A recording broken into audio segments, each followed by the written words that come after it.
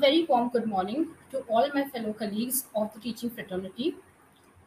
I would like to begin our day on a very positive note by quoting Don't be pushed around by the fears in your mind, be led by the dreams in your heart. And I truly believe that that's what we all are here today to not only dream about a better future for our students, but also to create one. Myself, Anita Garrett, would like to extend a very warm welcome to the second day of the FDP on modern educational tools and pedagogical practices for online teaching, organized by Vidyalankar Institute of Technology. In yesterday's session, we gained insights from very round, uh, renowned academicians on very few ped- pedagogical uh, practices and tools to make our online teaching more effective. And I'm glad that you all have chosen to come back, of course, safe and sound, to brush up your skills through day two of the FDP. My dear teachers, we are living amidst what is potentially one of the greatest threats in our lifetime to global education a gigantic educational crisis. With most colleges off bound due to COVID, exam season this year was like none ever before. We gave the students a good reason to celebrate but this time, we need to be well equipped if the situation demands in future. Hence, to throw light on different assessment and evaluation tools, open source and new normal way of teaching, we have with us our very own faculty member from Vidyalankar family, Dr. Saurabh Mehta. Dr. Saurabh Mehta has more than 17 years of professional research and teaching experience in wireless system development altogether.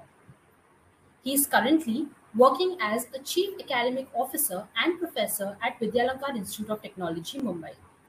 He is responsible for integrating academia and industry collaboration, bringing innovation and entrepreneurship in academia, research programs, designing curricula, implementing academic planning and policies, human resource development, and educational training for Vidyalankar Institute of Technology, Mumbai. He earned his BE MS and PhD degrees in electronics engineering from Mumbai University, India, Ajou University, South Korea, and Inha University, South Korea in 2002, 2005, and 2011, respectively. Currently, he is also serving as Technical and Professional Activity Chair at IEEE Bombay section. His research interests are in the area of wireless networks, game theory, and educational technology. I would now request Dr. Saurabh Mehta to take over the session and to address all. Very good morning, everyone, uh, and uh, thank you, Anaita Madam, for some kind words. So let's begin with our particular session. So let me just share my PPT with all of you.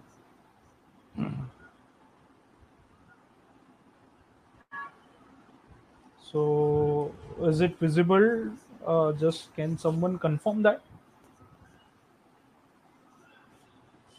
So I'm assuming that it uh, it is visible. So I just uh, wanted to before I actually start with this thing, just wanted to share a little uh, story about myself. That uh, Sir Manish. It is visible. yeah. Okay. Thank you. So just wanted to share a little story about myself. So when I started my career, I started as a like a professional uh, engineer. Uh, then I went on to become like a researcher, and then uh, working as a like a independent consultant for uh, many companies, especially in wireless network and this thing. And I was uh, always fascinated by like a teaching, and uh, I wanted to be a, like an academician and I choose this thing. But I can say my real transformation as an academician started in 2014, 2015. I try to understand like what is basically the education is all about, and uh, what is this education as a uh, as a process.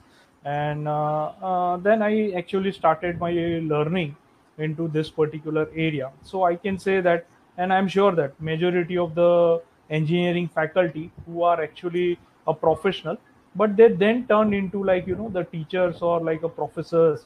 And uh, they find it bit difficult because generally we never learn anything about like how to do the teaching in our curricula or even not uh, it is uh, as a part of like you know as a uh, our uh, uh, you can say education formal education there, there you can never find any component related to this thing and now i guess maybe aict and government of india mumbai university they are taking lots of initiative regarding this thing. So it's a very welcome uh, steps. I'm sure that the new generation of the teachers who are coming they are already equipped with uh, all this kind of like a new technology. They already know that what is basically teaching is all about and how to go about it. So that part is taken care and it is a good sign. So generally that kind of like a transformation i'm sure that it comes to in uh, everyone's like a life.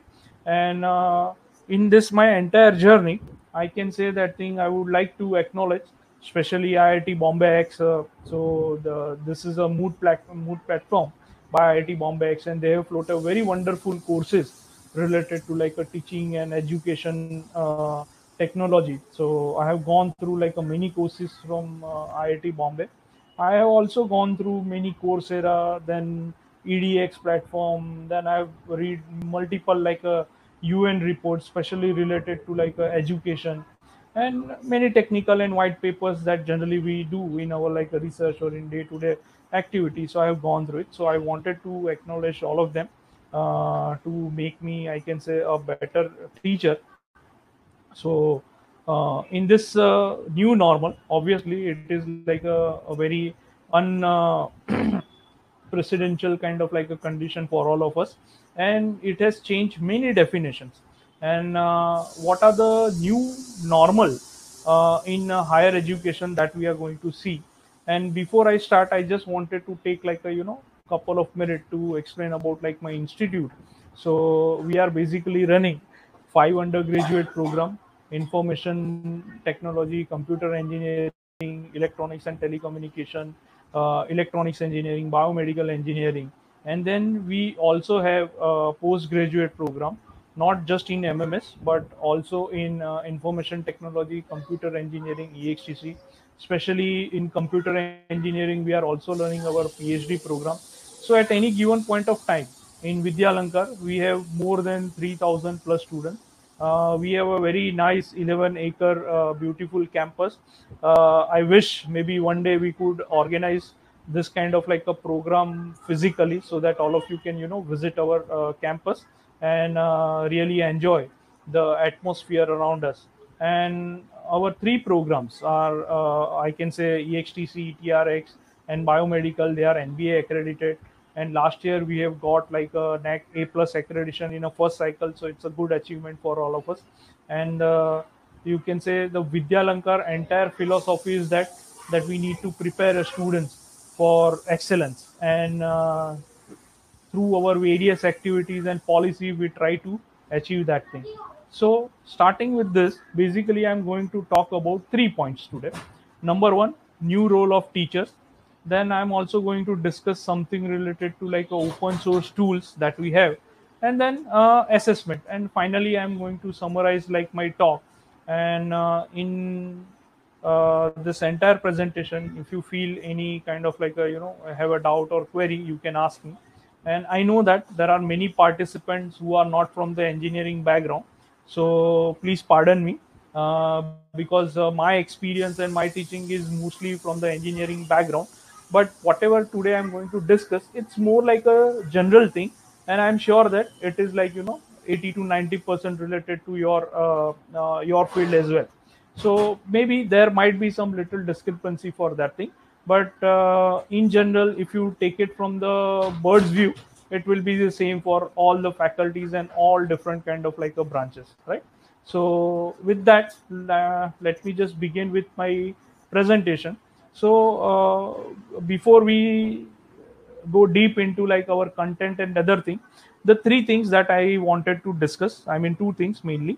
So first i wanted to discuss about the teaching models. I mean we keep hearing about like a teacher centric student centric and learner centric so what is our approach? So especially in vidyalankar now we are focusing more on a learner centric i see that there are many colleges they are yet teacher centric approach i mean in majority of the activity it is like a teacher centric approach and uh, there are many institute they have started to migrate from the teacher centric to a student centric and uh, they are really doing uh, uh many activities or you can say 50 to 60 percent of their activity is basically a student centric and here in Vidyalankar, what we try to achieve, it's more like a learner centric. So we do not want it to be like a teacher centric. We would like to be a student centric, but then focus should be on learning thing. So students should learn more and more thing. So let me just give you one example. So then this particular, like you know, the definitions will be clear to all of you because throughout our presentation we are going to discuss about this kind of like a teaching models or a definition so teacher centric a very traditional one where a teacher goes into the classroom they take the classroom and they deliver the lecture so generally it's kind of like a monologue. So teacher is just uh, uh, disseminating the knowledge. So that's a very traditional kind of like a model. And the entire world is actually followed that thing. And uh, we can see that thing still. We cannot completely get rid of this particular like a model. And there is obviously some positive negative about this model. Then let me come to student centric. So nowadays people are uh, talking a lot about like a flipped classroom. So flipped classroom a very typical example of a student centric learning.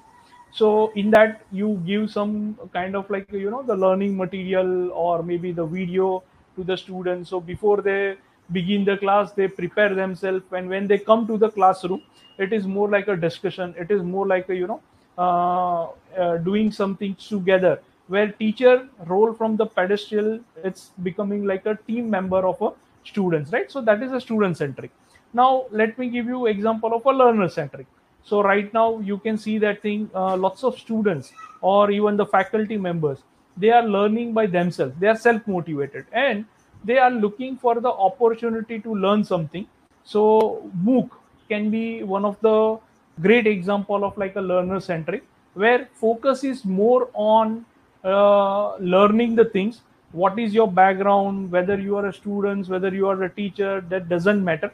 But focus is mainly on like a learning skills learning some important concept. So that is you can say example of like a learner centric.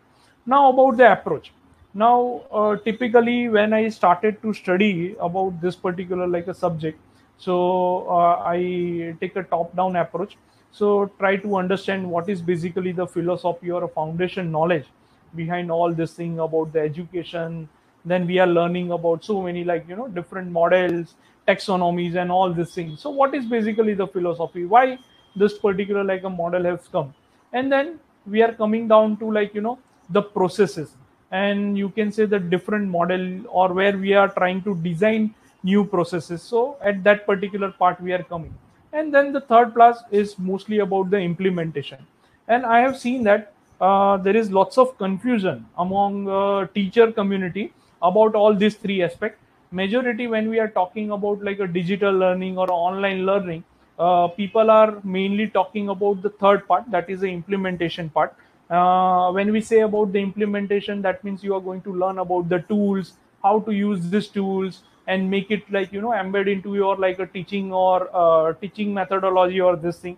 So that's the implementation part but uh, i uh, personally think that it is better to start with certain philosophy and foundation knowledge.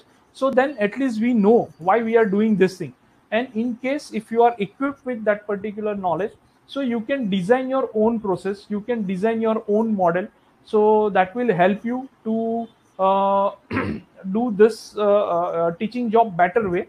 And then finally it comes to the implementation so when i'm looking at the education technology or entire education i look it in this particular like a three approach. So and it's a step by step approach. The first you should understand this foundation knowledge then models and then implementation. So this in entire this talk i'm going to touch upon little bit of like a philosophy because i know that if i just keep discussing about that thing it might be a boring and uh, we will uh, discuss mainly about the different kind of like a processes which are important. Because i uh, believe that once you understood the process properly and you know that how to design this process uh, in a proper way implementation will automatically happen. And then finally we'll uh, touch to some implementation. We are going to see some uh, tools or i wanted to share some of the success story that we have or even in that vidyalankar what experience we have that i would like to share with all of you. So starting with this thing motivation. So you can say the new normal is like you know completely disruptive change. I mean in our case uh, i mean we went to uh, college on saturday and then later on we come to know that thing from monday we do not need to come because of the lockdown situation. So it was a sudden change and it took some time to basically grasp that thing that okay this is what is like a corona this is what is like you know it's a really like a, serious situation and then we are actually going through like you know a big turbulence. So at that time it was very hard to estimate the gravity of this particular like uh, thing. But yes we suddenly come to know about this particular change and it is a forced change. It has i mean it is not like that that we wanted to have that change and it happened. No it was like a forced change to all, all of us. And now uh, at that time we were not ready about it. I mean uh, i don't know about other people but at least i can say that thing i was uh, not completely like uh, ready. Even i'm not uh, able to even process that thing that we are going for a lockdown for a, such a long time. And this particular like a uh, corona is going to be like you know it's going to be like a very very big kind of like a problem uh, for the country or i can say for even an entire world. So at that time gravity was not there. We were just thinking about that maybe like a 15 to 20 days might be the enough and then again we'll come back to like our routine.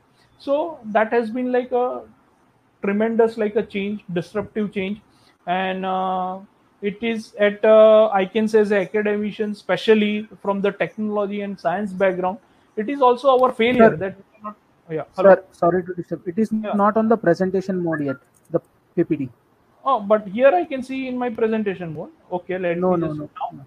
Now. And it is not been scrolling also, sir. Oh, really? Okay. Let me just. Yes. yes. Uh, can you just check whether it is uh, because here I can see in a presentation mode. Let me just share it again.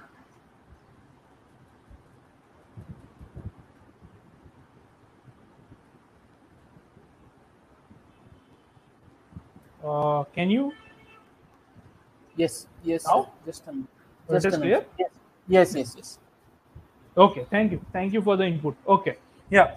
so I was talking about this thing that uh, as a technologist or you can say as a, from the science background, your entire our uh, academia failed to see uh, it's uh, like a gravity. Now everyone is like you know talking about this thing. Now people have started to understand that thing. And what I feel is that this particular situation has brought many changes in us. So that changes could be at the physical changes. Uh, also this is bringing a mindset change into us behavioral changes. And uh, finally it is also you know bringing some kind of like a skill set change. So whatever so far we have uh, skills related to teaching i can see that thing there is like you know now no scope for it. Now we have to acquire a new skill set then only we are going to survive in this new situation. So let me talk about all this particular like a point in one by one manner. So uh, first let me just talk about that physical change. I mean uh, health related issue. So you can see that thing it is like a really very serious kind of like a issue. I was discussing with a few of my doctor friends and we were just discussing about like a covid-19 situation and just I, I just asked them that uh, what was like you know I mean uh, right now what do you think about this particular situation? What kind of like a problem that people brings to you? So they were just discussing many things and out of that uh, what I have derived is that mainly people are you know right now basically facing mostly with this two kind of thing because as a teacher I can say even I have gained weight some. So uh, I can say that thing we our sudden movement or what we used to do in college you know run from one classroom to another classroom one classroom to another lab and all this thing we were like you know always doing some kind of like a physical activity in terms of like a physical movement and so many things. So from last 3 months almost it is like a now stop. So this is actually you know gaining i mean we all are kind of like a gaining weight if some of you are doing a regular exercise and this thing so that is a very good thing that everyone has to take care about the health.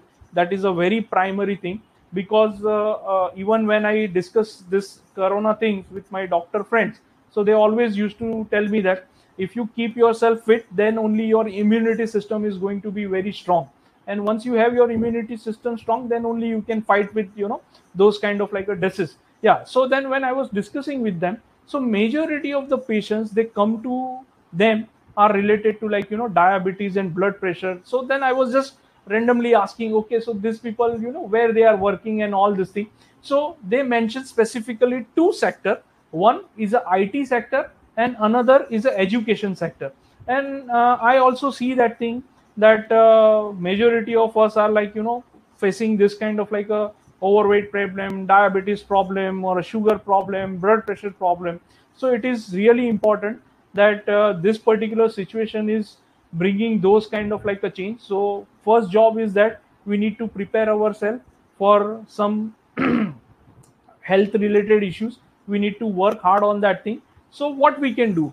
Obviously we need to make some changes in our food habits. Right now we all are at home. So you know unnecessary junk food and all other things anyways it is like a cut down but still it is better that if we continue with the good habits everyone i'm sure that when they are working they might have like you know different timings of eating but now their timing will be a very uh, i can say a proper schedule one. At that time the people are taking a breakfast lunch and dinner. So this good habit food habits we need to continue. We all need to do like a yoga and pranayam which is really important for all of us. And uh, we need to do like you know regular life and uh, this good habits we need to put it in our regular schedule. And this should not just only for the lockdown period but it should be also included in our regular life. Then only i think we can uh, have like a, a, fit body. And once we have a fit body we can fight with this particular like a disease. Now about the mindset. Now this mindset i know that uh, it has like you know bring many worries to many people related to job then job security and uh, unnecessary tension. So many teachers are dedicated always thinking about the students. So they keep worrying about that thing. What is going to happen to the like students? Oh we have not completed this kind of like a syllab- uh, syllabus yet. This is pending that is pending. I also used to get those kind of like a query. So it is you know generating lots of like attention and this thing. So only way ahead that i can see is that we need to accept this new situation we know that uh, this situation has bring so many like you know worries for us. And uh, somehow once we accept it then only we are going to find a solution. Unless and until we are not accepting it we'll not able to find any kind of like a solution. So the best choice is that we have to accept this new situation. Maybe in future also we need to be live with like a corona. So that is the future. And we all have to accept it until and unless there is a change in some kind of like an environment or once we are ready with like a vaccination or something. And the best part to avoid the tension and unnecessary worry is to do the meditation. And uh, another good thing is that need to start learning new skills and new subjects. So you know our focus will be on learning and then we can set uh, our mind for uh, this new situation.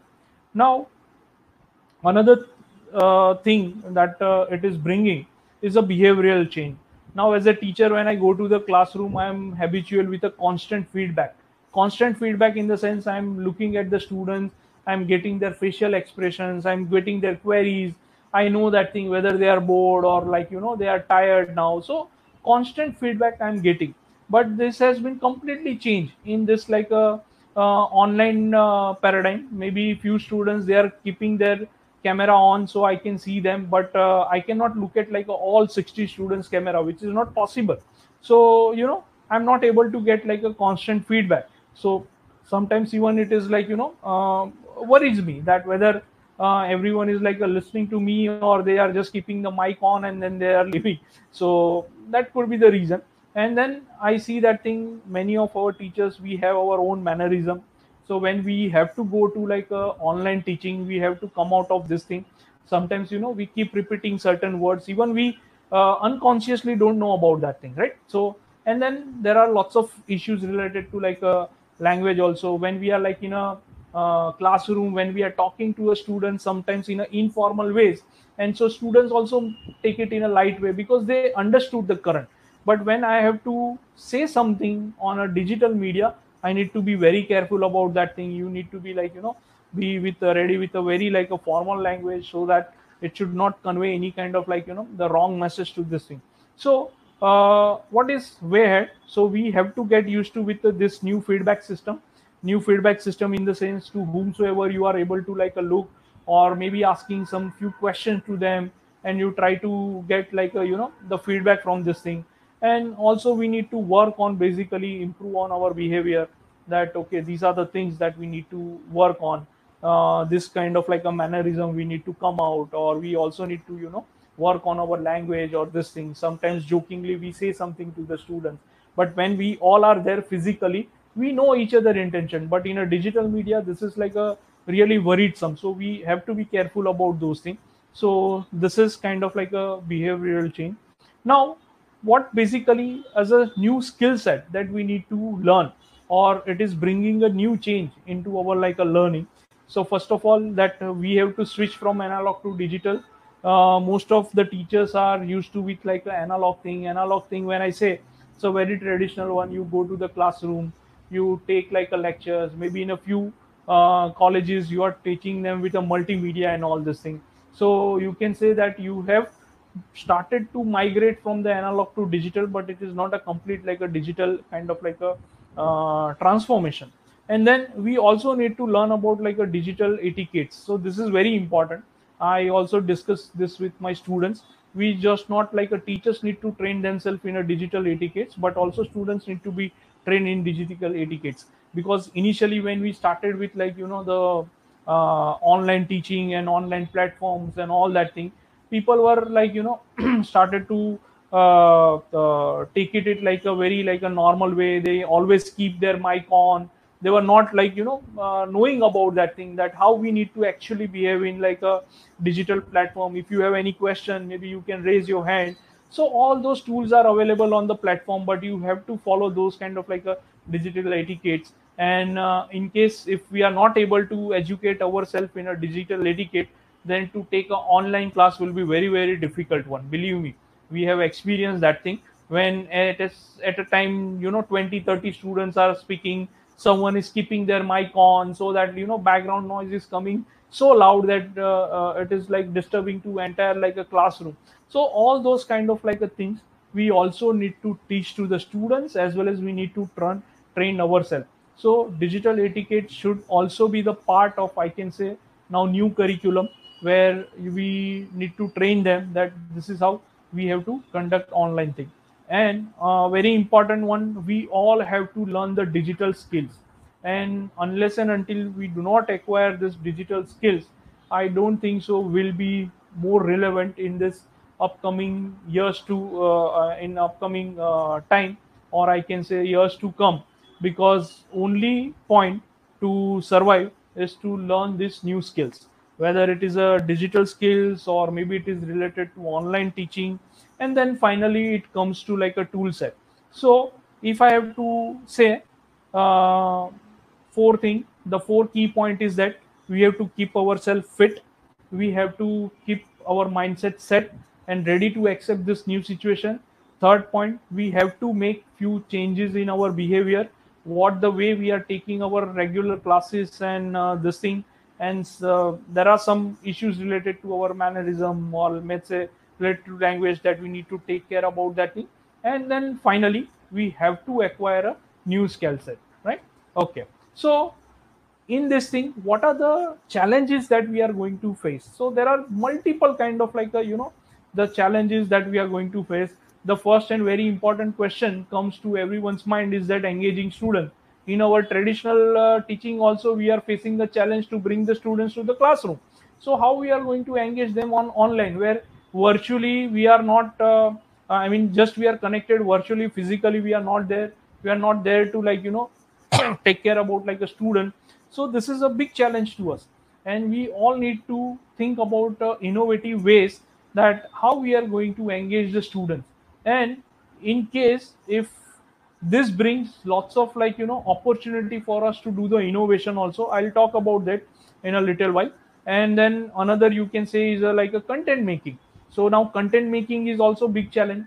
So whatever we used to prepare earlier uh, maybe like a ppt or let's say we try to get it something from internet and then we used to take it. So now we have to be very careful about that thing because when we are using someone else material and when it is going into a digital media it may create a problem for you in the future. So yesterday uh, so one particular speaker was talking about like a common licenses and all these things. So these are creative common licenses. Are very very important. And let's say if you have to use an image or something so you need to follow certain kind of like a rule. So this content making is absolutely necessary. Then feedback uh, is also like a you know challenge for us. Now feedback could be from the students to teacher or teacher to students so how to develop this thing it's very important. And another worry is about the assessment. Right now also we all are like you know uh, asking this question okay in case if we have to take an exam for a be student how we are going to do it? What kind of like assessment we need to? So in fact mumbai university is also coming up like uh, thinking about like an innovative way. And assessment is really important. So we need to completely uh, give a new look at it that how we have to do the assessment. And i'm going to talk about assessment in uh, great detail in the later part of my presentation. Then about the lab. I think many question even yesterday uh, people have raised that how okay lecture okay we can take it online. But how we are going to do the lab sessions? How we are doing to do the practical sessions right? So obviously uh, when we are talking about online teaching it is an inclusive kind of like a teaching where uh, practical labs projects uh, our normal lectures everything is going to be like included in that thing. How to do that thing it's a question.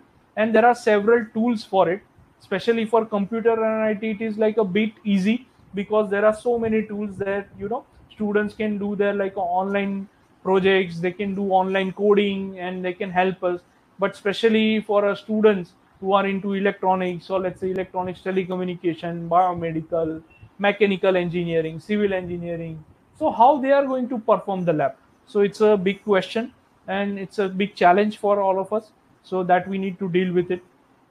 Then i can say ipr copyright. So again again uh, it is related to like your content making and when you are going to use some material uh, from the online. So how we are going to you know take care about like a copyright or in fact if you're generating your own kind of like a material and uh, you have taken like you know a proper care to make sure that it is like a legitimate and in its proper. So how you are going to protect your own copyright into that? So that is also a question. So all these are like a big challenge for us. And uh, obviously uh, in case our institute they are spending lots of money in generating some specialized content so that content you do not like to leak in uh, open media.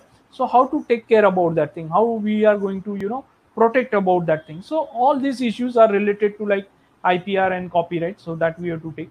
Mindset of a students. So uh, earlier i talk about like a mindset of a teacher. The similar kind of like a mindset of a students also need to be changed. Now uh, one particular like a positive thing that i can see in this covid-19 situation is there is a tremendous change in uh, students mindset. So many students they are learning online courses doing from coursera edx various kind of like a platform. So i guess maybe they have prepared themselves for online teaching. Their mindset is there orientation is there. Obviously now uh, it is up to us that how uh, we are giving them those kind of like enhanced experience in digital learning. That is very important so that kind of like a mindset we also need to create among the students. And students also uh, when i'm talking about students it is not just the students but also it is including the uh, their parents because their parents also now need to think about it whether my child or like you know they are learning online whether it is going to be effective non effective they are worried so much about that thing. And all these worried are like you know valid worried so i can say that we also need to counsel not just to students but also to the parents. We need to tell them about this particular situation and how we are going to handle them. It is good that if we have even dialogue with them so even they can have some kind of like a confidence in us. Uh, again digital etiquette. So i already mentioned about this digital etiquette. Now collaborative work. Generally when we have a lab sessions or a tutorial session we can do this part very easily but now all people at are at uh, remote places how we are going to do the collaborative work? So obviously this is a big challenge for us how we have to do with it. Now there are also some problems from the institute point of view. Maybe if you institute they may not have a proper infrastructure. I can say the very basic need is a very good uh, broadband internet connection in entire campus. Unless and until we do not have this thing it will be very uh, uh, difficult to talk about like online teaching and digital things and all that thing. So infrastructure is required. Uh, infrastructure not just in terms of like a i can say uh, some internet connection but also we need to prepare our classroom. We need to prepare a, a different aspect of that in that way. So on also there are so many like a technical issues that we need to deal with it. Now maybe low bandwidth connection some tools are not there. So we need to train to students teachers everyone like you know the staff members over there. So these are some of the challenges that we have. And lack of connect. So sometimes we feel that thing there is a lack of connect. Lack of connect due to a technical error or maybe due to some kind of like you know the human error. Human error or suke or i can say that thing when the teachers are not properly like a prepared or something. So we have to do is the lack of connect and then obviously one particular question comes as a financial. Uh, i was recently i was a speaker in one particular forum where somebody asked this question. Now that everything is going to be online so are you going to reduce the fee? So this particular question uh, i think we all have to face in future. What should be this thing? And uh, let me tell you that uh, when any institute is actually preparing for this digital enable campus actually it is a very heavy investment towards the infrastructure development technological development and all this thing. So just taking it to online that doesn't mean that this is financial kind of like a reduction in fees or this thing. But uh, this is a very important aspect and that need to be uh, debated on a large scale. And i am sure that uh, we all are going to face this question at a one point of time in our life in uh, after the post covid situation. Right? Okay. So uh, coming to the digital skills now when we are talking that what kind of like a digital skills are there so you know everyone has a different kind of like a opinion about it what kind of things. So i do not wanted to name any particular kind of like a tools name because tools comes later on. The first is very important in skill. So i have identified that if you have uh, this particular like you know uh, six skills so it can take care of your entire online education. It can take care of your entire like you know education stuff. The first one is that uh, we all should be able to use a social media because we can see that things students are very active on a social media. So social media doesn't mean only facebook but it covers lots of things instagram whatsapp or blogs or you can say this thing. So we have to uh, be prompt in those particular like uh, social media and we have to develop this particular social media skill. And then i'm sure that all of you are going to prepare your uh, content with a audio or a video and different kind of like you know this thing. So at least a basic thing related to audio and video editing should be there. And we all need to master over that particular skill. I'm not saying master means like you know should be expert into that. But we should not be depend on somebody. We should be able to do it by ourselves and uh, there are so many like you know uh, open source software tools and there are so many like uh, even online tools are available with that uh, help of that you can simply edit your video and audio. Because now uh, in a new era we all have to use these skills on a regular basis and then we have to make it in a proper way. Then another very important one is that how to create a content and sharing. So i think yesterday's uh, lecture about oer was a perfect example and i think sir has explained very well that how to create oer so and how to generate that content and how you are actually going to share that content. So there are various kind of like a platforms available to us. Just to give you an example lms system or a moodle right? So uh, in that thing uh, uh, through this particular like a platform you are going to like you know share your content with that thing. So you should even have a basic knowledge of that particular like a platform. And how to create a content. Then academics analytics. Now this is really really important. Now in earlier case we could not have a detailed analysis of each and every student's performance. But thanks to this new era now we are going digital. And when we are going into digital you know you can monitor each and every different kind of like a parameter of the students. So as a teaching community now we have to focus on this academic analytics. We need to understand this academic analysis and based on that thing now we can you know do more customization of our teaching learning process or i can say the learning and other kind of things. So this academic analytics is very important. Now we have to start learning about that thing how people are you know uh, uh, uh, using this analytics to analyze. Students is doing good in which particular subject which particular like a module you and i have seen that thing that some actually universities are giving them the flexibility to even map to which particular module or a concept they are not able to like understand and in which they are actually failing. So from this particular analytics they are preparing their content their methodology in a better way. Now after that communication platform. So again communication platform could be like you know uh, in case if you have your intra um, intra website or like say internal like a website or a lms system or a different kind of like a communication platform. Uh, when i say the communication it should be the official platform where you can like you know do this thing especially what i mean to tell about this is we need to start creating a discussion forum or you can say discussion community. So now discussion community is also like a new phenomena which is like you know emerging at least in india so it is a very well known concept in uh, open source. But now this is also coming into like education so that you know the support is available to everyone 24 by 7 and all 365 days. So this kind of like a communication platform you need to train yourself in that thing. And then finally i wanted to come to the collaborative platform. So when you are learning about all this thing you should also learn about some of the uh, collaborative like a platform where you know you can try to collaborate with multiple students at the same time and not just with the students. And let's say now uh, because of the digital kind of like a, uh, learning we have even a flexibility to do the collaboration with somebody who is in like a us and uh, you wanted to take them one particular like a session on this thing or you wanted to collaborate with them on certain projects or something or some students like you know so now this is going to be like a future i can say.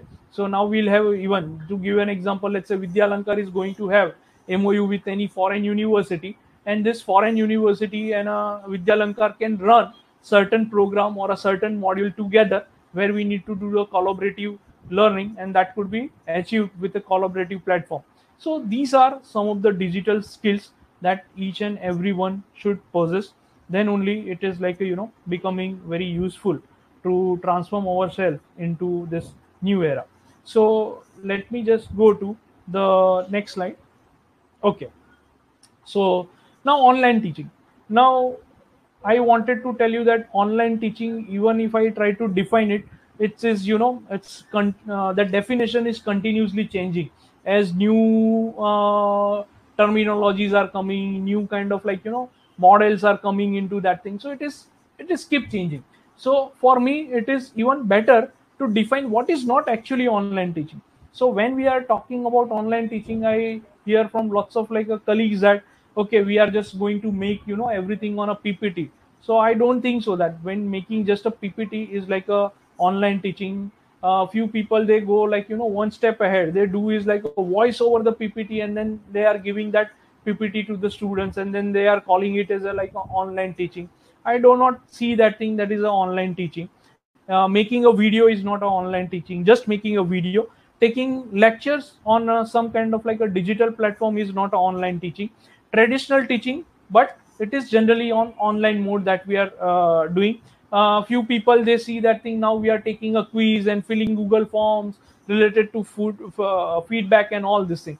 So all these particular points are not actually online teaching online teaching is much more beyond that thing. It is a experience that we are actually passing on to the students where students constantly feel that thing that i'm learning something i'm connected with my peers i'm connected with my teachers. And then you know the learning is happening not just in a classroom but 24 by 7 so to be very honest i do not have any proper definition or any kind of thing that what is like online teaching so let me just share uh, one particular like a program with you. Let me understand what all of you uh, think as a like a online like a teaching. So uh, i request uh, uh, organizer to share the web link and then uh, password. So let's try to understand what is basically the online teaching is all about. So i can already see that. All of you can see my screen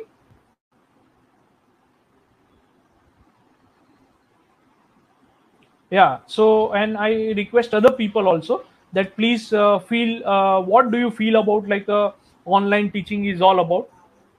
So many said about like a facebook e-content digital from uh, anywhere interesting innovation virtual lab.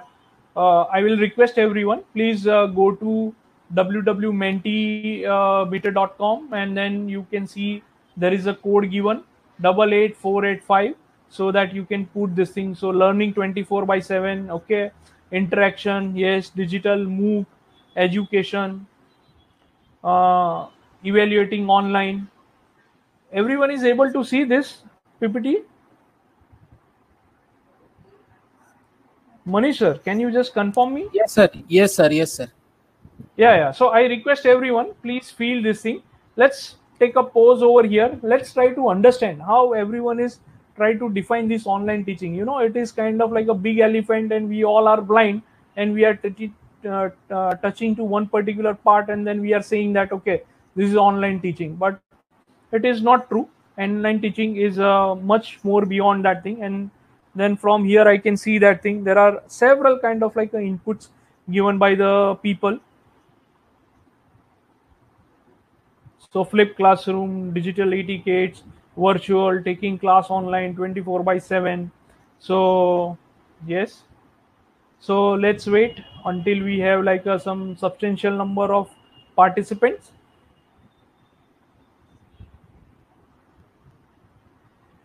Okay virtual learning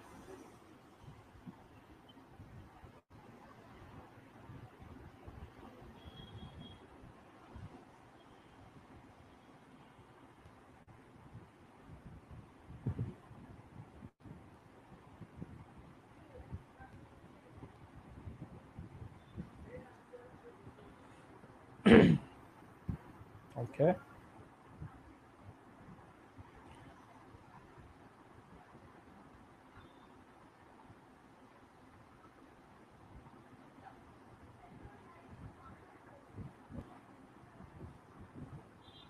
okay.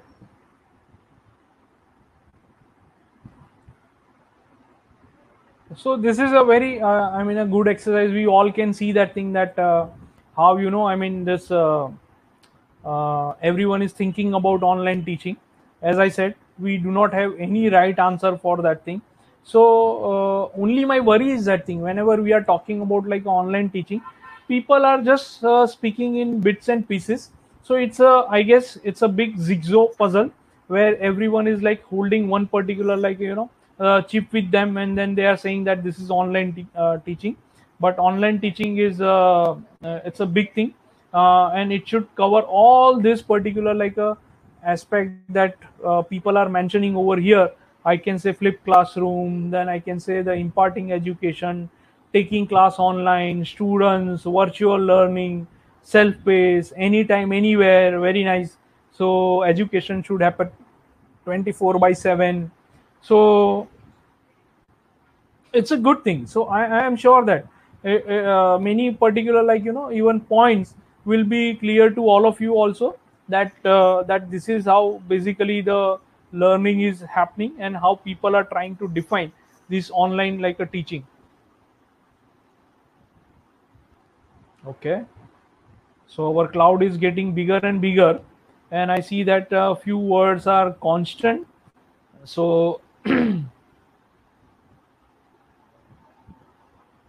so without distance and border barrier yes very true very true about that thing. So i can say what we try to achieve over here is like you know we all are trying to define certain characteristic of online teaching. So we can say that thing if online teaching is something uh, but we are sure that it is covering or ticking marking all those particular like a features. So this will help us to define this particular like you know online teaching. Okay? 74 okay?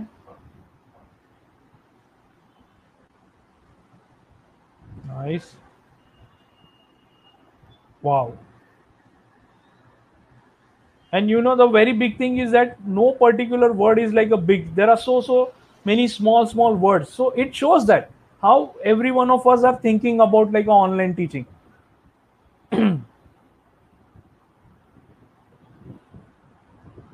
So i guess each one of us have a our own definition of online teaching. So very nice.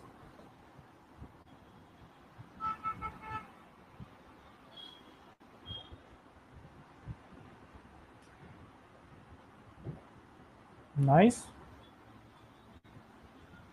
we have more? Okay.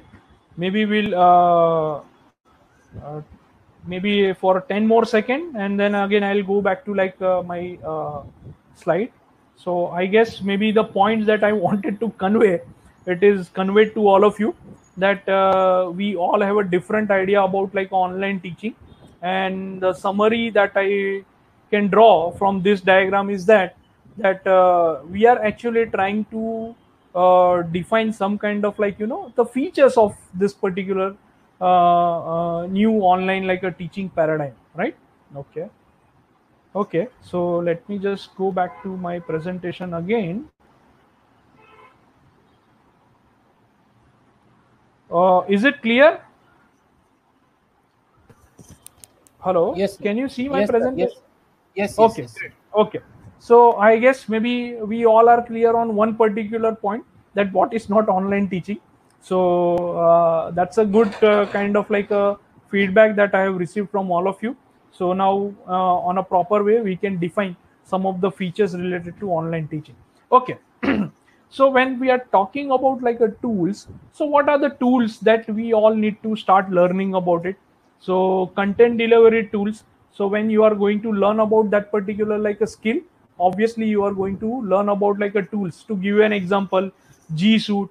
Now recently in vidyalankar we have actually done the ms view training ms ms teams training. So if some of you might be using like office 365 as like a official version so you know there is a ms team particular like a tool is coming to you.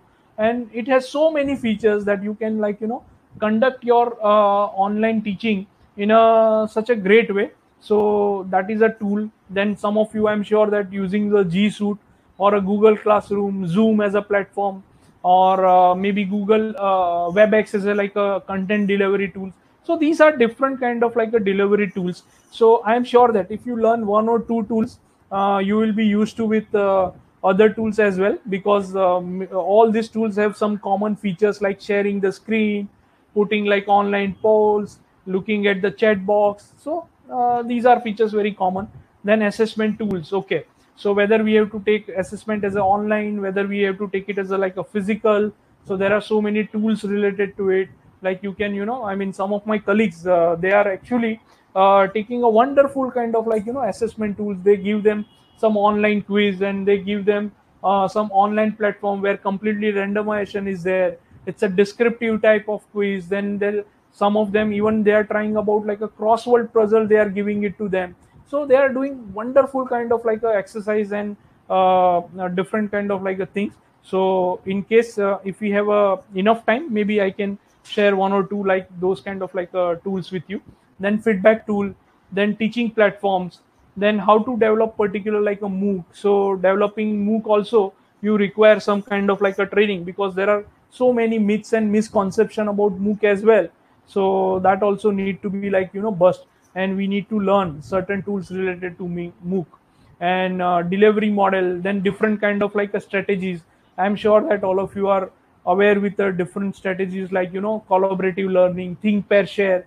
What uh, yesterday samir sir tried to do is like a think pair share. He took a you know uh, feedback from you then try to you know collaborate all of you on some certain ideas so this is kind of like a strategies different strategies that we wanted to apply. And then flip classroom which is a very good uh, uh, model of uh, delivering the content. Then uh, nowadays lots of people are they are working on a pbl problem based learning project based learning research based learning. So you, you utilizing those things. So how to create those kind of like a problem based learning? So there are various kind of like a tools available to it i will discuss about uh, some of the tools with you in my next part of a presentation. Then there is a virtual lab remote lab. So what you can do with those things. So you also need to learn about these tools.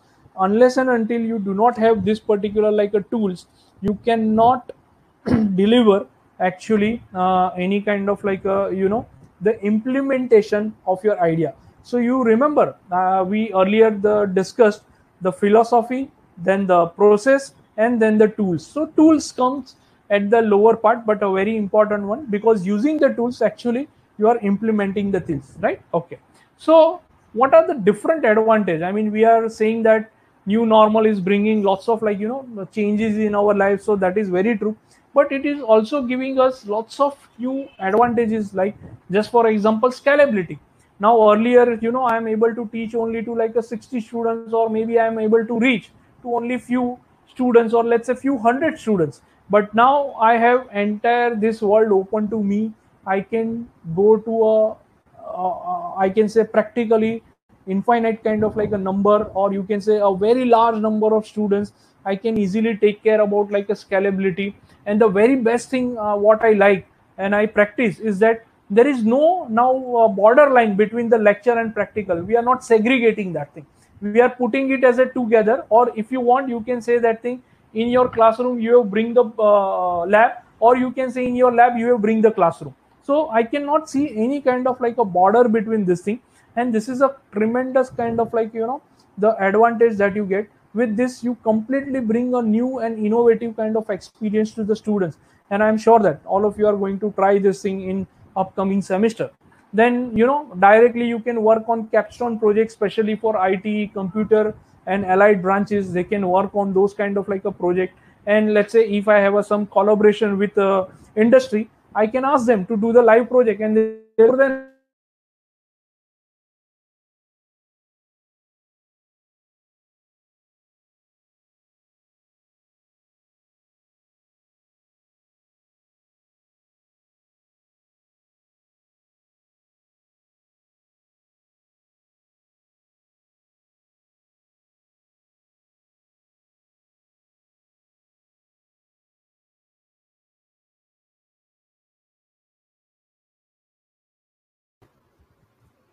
sir?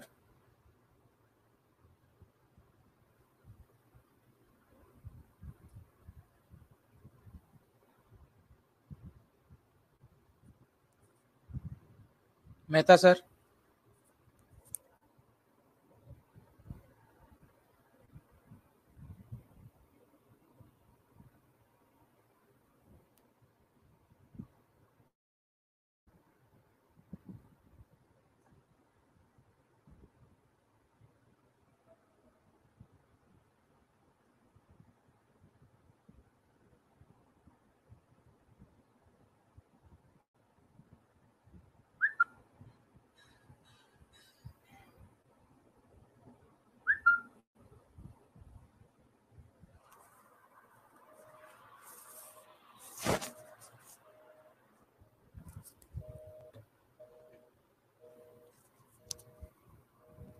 Anahika Anahika Manish? Manish? Hello? Manish? Yes sir yes yes sir yes sir अनाहिताला announce करायला सांगतो there is some connect connect connectivity issue okay okay please ask Anahita to announce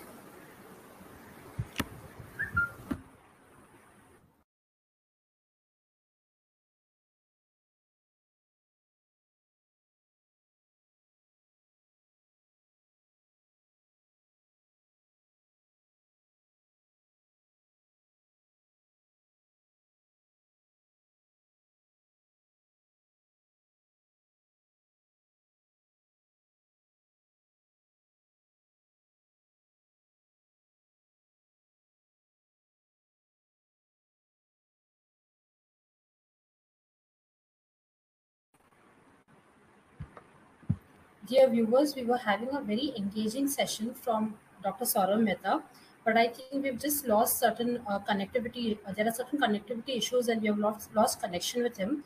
So uh, I would requ- uh, request you all to just hold on for some time before we get connected to Mehta sir again.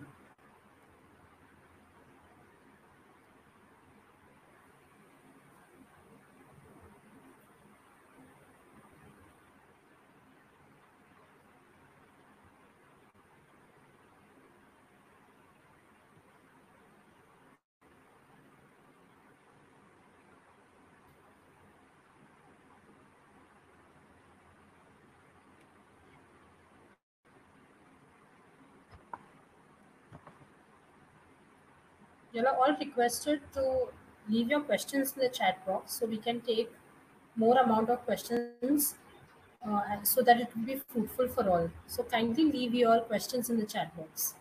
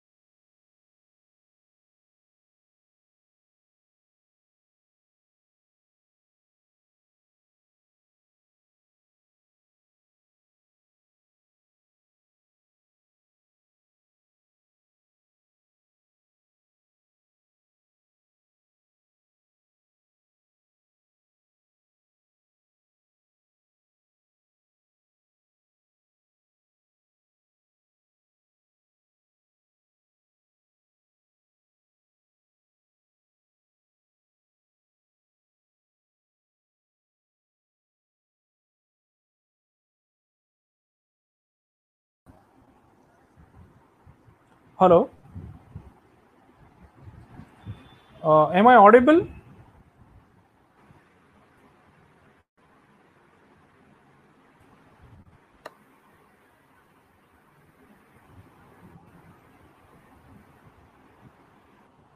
Hello. Am I audible? Hello. Yes, sir. Yes, sir. You are pro- perfectly audible. audible. Okay. Okay. So just can you help me? I'm sharing my presentation where uh, people have missed. Okay, sir. Uh, uh, last one was related to like uh, I'm sharing my screen. So please let me know where all of you have missed. So this part was there. Just a minute, sir. Yes. Uh, uh, so audience they have gone through these tools and uh, advantages of new normal that was there or it was missed? It was missed. Because I think Okay, so you okay. were on live projects or multidisciplinary. okay okay. Okay fine. So uh, now i'm audible to everyone. So i was like uh, going through this multidisciplinary. Sorry for this technical error. I don't know how it happens but uh, again you can see that thing if we rely completely on technology so this kind of like uh, things could also happen. So we need to be ready about that. Okay so i was like uh, discussing about like a multidisciplinary. So in a multidisciplinary you can see earlier i was facing lots of like a logistic related problem and time related problem.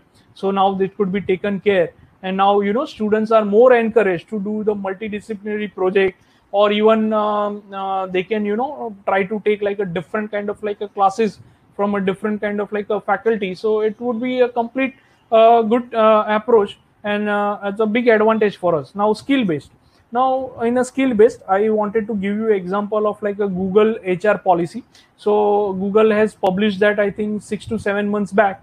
So in that thing they have clearly defined that now we do not wanted to uh, consider as a formal degree. I mean they are considering formal degree but that is not a requirement from their side what they want is that if you having a proper skill for a uh, applied job that is more than enough. And another very important aspect was there that even if you wanted to get a promotion not necessary to have like a formal degree whatever uh, skills required for that position if you acquire you are eligible to get this thing. So this is completely changing the scenario. Now just imagine the giant like a google is actually uh, implementing those like a kind of like a hr policy so it's a matter of time that other companies will also start following this thing. So skill based is very important one. So now we have to focus more on like a skill based kind of like education whatever we are teaching them there should be some kind of like a defined skill so that students get benefit out of it. And this new uh, uh, era is giving us actually advantage for this. And the very good thing is that no defined framework is that. Right now there is a no framework there is a no particular like you know some uh, de facto things so that you know we are getting complete autonomy what we wanted to do how we wanted to define. So we should take the advantage of this and we should make that learning experience in i can say in a wow factor that students say that uh, no this is how it should be the uh, uh, new learning. And so this is giving us a great chance for innovation right? So everyone can bring lots of like innovation in this thing and this is really really important one so we have to take care about we have to take care about that thing so uh, now let me just come to this thing there are some uh, really uh, new and important technology which is like you know at the horizon right now and it is very important that we should Sir. also start uh, hello So, sorry to disturb. The presentation mode is not on yet. presentation mode is not on but i can see my presentation more let me just let share screen again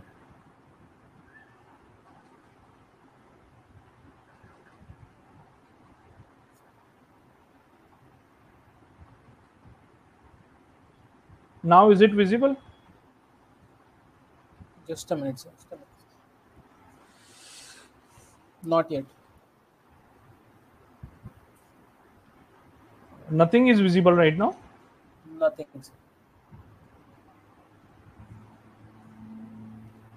uh, I can see from here it is like visible. Now, Now it has come. Yes. okay. So these are some of the new tech. Huh. So these are some of the new technologies which I say that they are going to be like you know put a very big uh, impact on education sector. Uh, the one is augmented and virtual reality.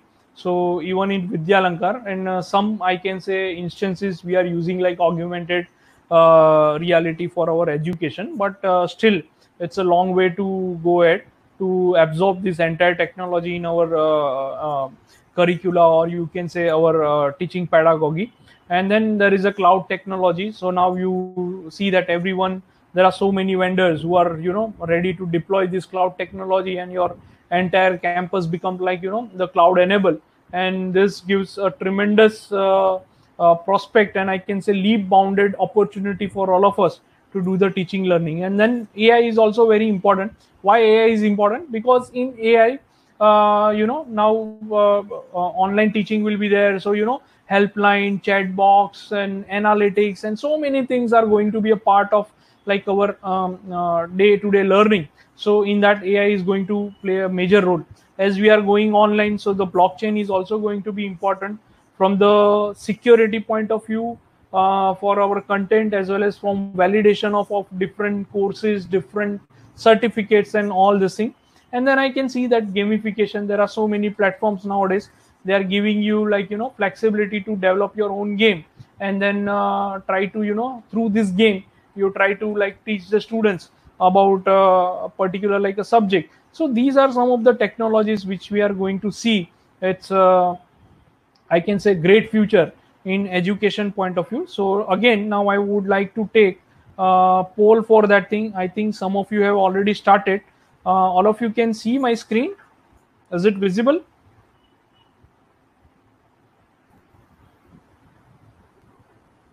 Yes, sir.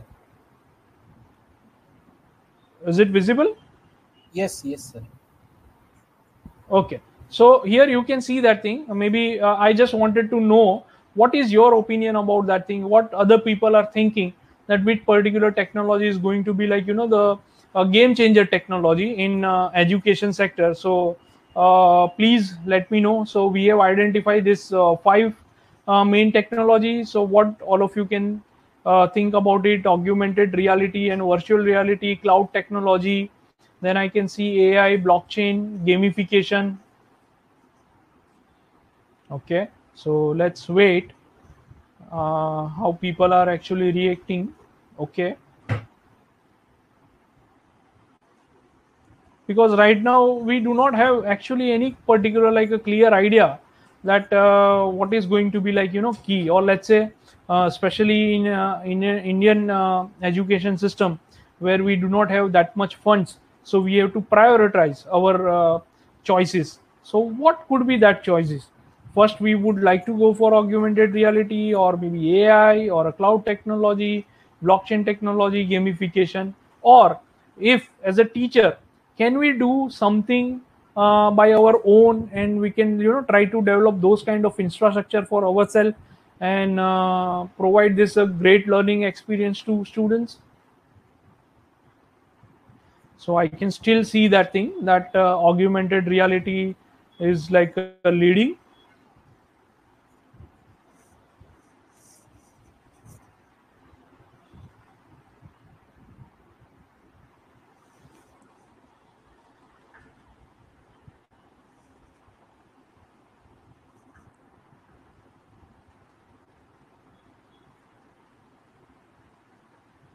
it seems to me that the computer uh, uh, science faculty are less in number. That is the reason that we are not getting like a cloud technology and ai at the top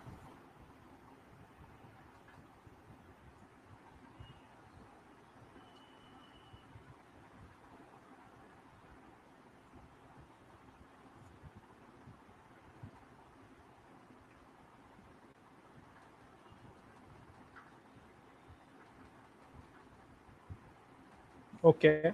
So we'll uh, wait for a few more seconds and then we'll again go back to like my presentation. So we'll try to understand that uh, okay. So it shows that that uh, everyone is uh, identifying which particular technology is going to be like you know the future of education sector or how this technology is going to change this thing. So we can say that thing majority of the people are actually thinking about the augmented reality and virtual reality. So yes that is true. And uh,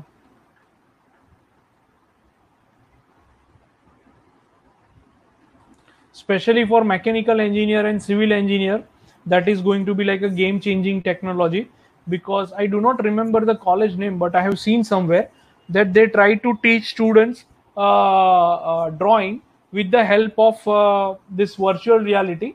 So they give some kind of like a uh, uh, code to the students. Students just need to scan with the mobile and then the entire model comes in a 3d you can rotate it. So it's a perfect example of like a augmented uh, reality.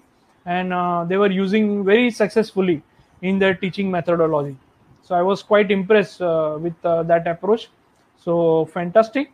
So i guess uh, we can clearly see that thing that uh, majority of the people they think that augmented uh, and virtual reality is there. The cloud technology people are selecting less because it's more towards like a infrastructure development. So once you have this uh, infrastructure cloud as an infrastructure then it is very easy to deploy all other particular like you know the component and all this thing right? So great to have everyone's like a choice and uh, it's a fantastic. So i can see that thing majority of the people they think that uh, augmented reality is going to be the key technology. So now once we already know that this particular technology is uh, the key technology so we have to start uh, you know acquire skills related to that. That is the only way. So uh, now again i have switched back to my uh, uh, presentation. Is it visible? Yes sir. Yes Okay, so uh, now we have even seen the poll and then we have tried to understand everyone's uh, opinion also. So let's move to further. So if I wanted to compare now nowadays now you know uh, there are lots of jog related to like uh, covid and other thing. Earlier we used to say ac and bc so now people will start that thing uh, before covid bc and the post covid pc right? So we'll see like lots of like a difference. So what difference i can see uh, in this too is that uh, when i say the traditional approach it is before the covid-19 we can say that uh, majority of us were related to like a syllabus oriented. We were focusing only on like a question and answer report writing and whatever we try to basically achieve was not useful for that society. But now post covid i'm sure that with this uh, new digital technology what we can do is that we can see that it is a beyond uh, uh, syllabus thing uncovering the syllabus might be the major component in our teaching learning thing. We start using like you know the social media for uh, different purposes than pbl and rbl and whatever we are going to do might be the useful for the society as well. So uh, finally uh, in this part of my presentation we mainly discuss that uh, what kind of like a post covid uh, changes that we are going to see and right now i have discussed there are many actually prospective to it uh, from the students from the institute management from the universities from the parents teachers from other stakeholders employers. So all these perspectives are there. But in mainly in this presentation i have discussed only on uh, majorly from the teachers point of view. And then uh, some aspect we have discussed from the students point of view. And then i can see that thing uh, there are a few very important digital skills that uh, we need to master. And what could be the upcoming technologies in education sector that we have to like you know start looking at it? So these are i can say three main point takeaways from this part of my presentation. So let me just go to the second part of my presentation open source tools. So what i see as a new horizon is that that uh, earlier we used to have a digital divide. Now but because of this thing uh, there is a great boost in uh, i can say internet connectivity. Recently there was some article uh, published in newspaper where uh, they have mentioned that thing uh, that internet connectivity penetration is reached to almost 85% in india. So it's a great great and a big number that i can say we can see. And then i'm sure that if it continue with this particular like a pace uh, soon we'll be having a news that 100% kind of like a connectivity that we have achieved. And uh, it was uh, also very surprising to know that that it is the first time in india that the rural and the remote areas have surplus surpassed the uh, uh, metro cities in internet data consumed. So this is something which is very uh, phenomenal thing so i'm sure that now we are actually answering to that particular like a digital divide. And then what i can see is that there is a language divide also. So because lots of people uh, they come on the internet but they do not get the content in their local language. So they cannot take help of uh, or use of this particular you know fantastic tool called internet. So that language divide is there. So we can also try to figure out this particular like a language divide. Because as we are turning into like a learner centric mode our aim is that that whatever we wanted to teach to the student it should be learner centric in that case we may have that option also that student can choose their own kind of like a you know the language to learn this thing right? So language divide also we need to uh, we can see that thing it is now uh, kind of like a uh, dissemination. It is already started but i can say not fully we have achieved over there then uh, whatever like uh, we have creating as a content as a students as a teacher as an assignment or something. So it is of only to a individual use but it is not actually useful to the community or society benefit. So we need to come up with a new kind of like a approach that could be benefit to everyone. So there are some open source project. Maybe i can say that all of you can go to like a FOSSEE where so many projects. I mean this some of the projects what i have mentioned over here are uh, just a few. Recently they have added much more uh, like uh, tools to that. So these are some of the open source uh, project. Just for example like a python. Nowadays uh, i uh, try to analyze what particular skills the students and teachers are learning. So python is coming at the number one actually rank that majority of the students and uh, teachers are focusing on python. They are learning the python. They are completing so many course on python so it is a fantastic thing that uh, uh, people are learning. Then scilab. So majority of the college they do not have like you know the official version of like a matlab. In vidyalankar obviously we have a computer uh, campus wide license with us. But then uh, alternative to that is a scilab that is open to. So similar to that there are so many like uh, different tools. Even i have not used them except for eSim, Scilab, and Python. But uh, there are many, many kind of like you know tools are there, and uh, these tools are not just helping you to contribute, but also help you to like you know uh, achieve certain kind of like a milestone in your teaching learning process. So then there is a spoken tutorial. So I'm sure that all of you have now uh, actually experienced the real power of a sp- uh, spoken tutorial i know that so many colleges they have floated this kind of like a fdp where they have collaborated with a spoken tutorial so they have to you know learn uh, the things maybe a python or a latex or uh, any any subject uh, which is available on a spoken tutorial. And then later on they need to solve some assignment quizzes and all this thing. So people are using this spoken tutorial at a great length. And it's very good to see that people are making this uh, lockdown opportunity as a fruitful one. So then there is a uh, you can say fossee so here you can see uh, you can even go to their like a website here you can see httfosi.com so they are learning lots of like a project. Recently they have added one more good project that is like integrating your hardware with a scilab. So i think there were lots of questions related to lab yesterday that how we are going to conduct the lab or let's say if we are from the electronics background or from uh, uh, other background. So how we are going to you know computer uh, engineering computer science we can understand. But for this this is a very good opportunity. So you know you can try to connect a different kind of a hardware. Maybe students they already have the arduino board raspberry pi. So they can you know try to integrate this with uh, this online tool and they can do so many different experiment different kind of like a projects and all this thing let me just quickly take you through after this particular like a slide. So there are uh, very good uh, this one fossee.in and a very nice one. And uh, through that various kind of like uh, you know the uh, uh, projects and other thing they have floated. Then other thing is that uh, virtual lab. So virtual lab is a very big initiative by iit bombay. Some of our teachers are also contributing very actively in virtual lab. So that is a very uh, nice thing. Maybe soon you will see that thing. In virtual lab there is a vit tab also. So uh, our teachers and students are working on that thing. And then there is a remote lab also. So using that thing you can obviously uh, uh, run those things. Then there is a e-yantra lab. So now e-yantra lab it was started again by like iit bombay. So it's a very fantastic initiative. So students they get like a, a embedded boards and uh, platform. So using that platform they can make different kind of like robots.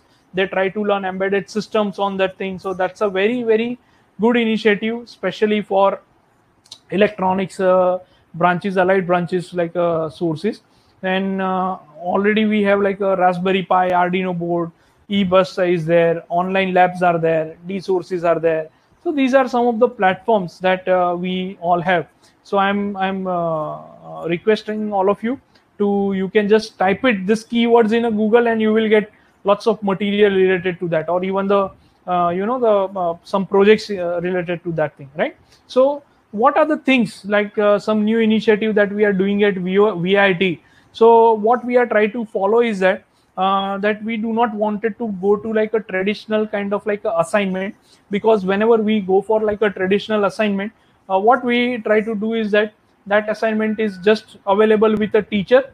Only uh, if teacher gets enough time he's going through this entire assignment and the students they are going to use it. But instead of that we can take this opportunity to design our assignment in a new ways. So i'm uh, uh, taking a pride in that that many teachers in uh, vit are actually uh, doing this kind of like experiment. It doesn't mean that we are not doing a traditional one. Yes we are doing the traditional one also. But many of the teachers have actually you know taken a different kind of like uh, initiatives for this thing. Uh, just to give you an example instead of giving them a written example they can go for infographics. I will also show you one example of infographics. What do you mean by infographics? And what is the difference between the poster and infographics? Lots of uh, my students have even started with a wikipedia article. So this is i'm sharing my experience. I generally ask students that instead of writing like you know three four assignment in the semester why do not you contribute on a wikipedia? So there are two aspect to it. Once you contribute to wikipedia i know that thing uh, that what kind of like a technical writing skill that you have.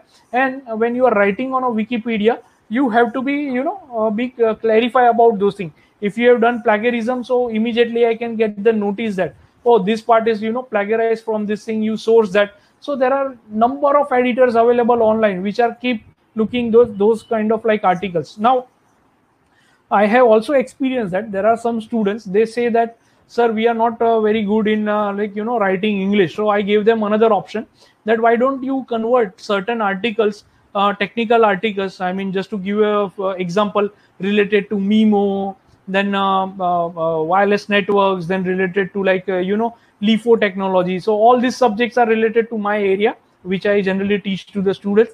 So i asked them that okay why don't you convert those good article available in wikipedia into your native language so that any person who is like you know not uh, well conversant with english but the content will be available to them uh, even in their native language they can you know try to convert that into like a marathi uh, gujarati uh, uh, some students even have done in a bengali. So this is a fantastic thing.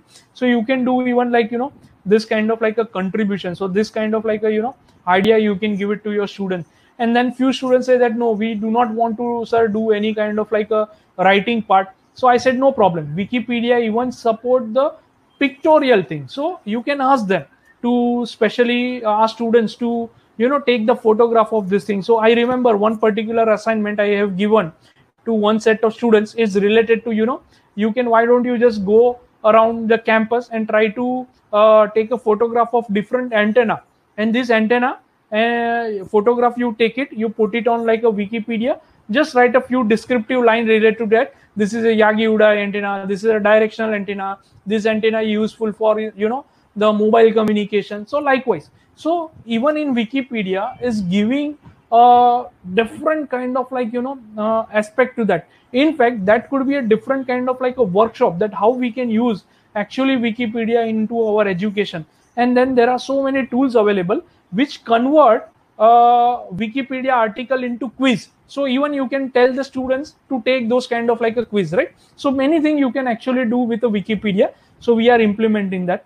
And then we also asked uh, uh, students to why don't you develop some kind of like you know the uh, video assignment. You know video assignment related to experiment related to their project related to their other thing. And this video could be available on youtube so that you know this particular content is not confined within the boundary of a college but it is go beyond that thing. So other people who are actually interested they can also look at it. And we have actually done this experiment. We have actually tried to digitalize so many experiment and uh, let me tell you that uh, uh, we have received more than 1 lakh views and likes uh, sorry views related to those particular like uh, videos. Because it is not just uh, vidyalankar students are accessing to those uh, thing. But uh, outside vidya lankar there are so many students who are actually uh, going through those kind of like videos and they are giving their very good comments. Some of them have actually given us a very critical suggestion